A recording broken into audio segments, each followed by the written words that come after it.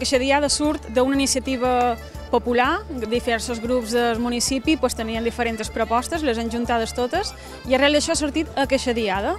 Tenim els arquers de Camp Picafort i Son Serra, que ens han preparat una tirada en barca en el principi, ara han fet un taller gratuït de tir en barca, qualsevol persona podria tirar, des del més petitó fins al més gran,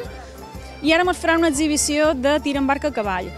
Després, a baixa, tenim a la plaça un munter de tallers gratuïts que podran fer des de corones de flors, eh, pintar guix, eh, se podran fer un escut amb material reciclat.